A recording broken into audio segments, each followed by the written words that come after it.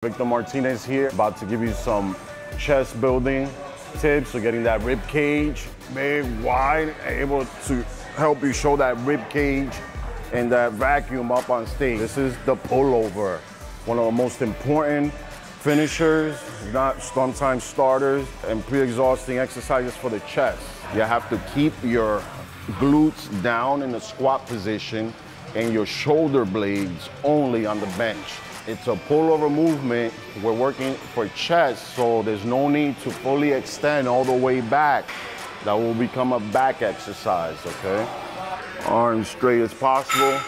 Remember, head not up, down, and back, back, back, back. Right here, I'm feeling my chest. That's enough. Any further back, that will be for the lat muscle. So it's right here, and at the top, squeeze.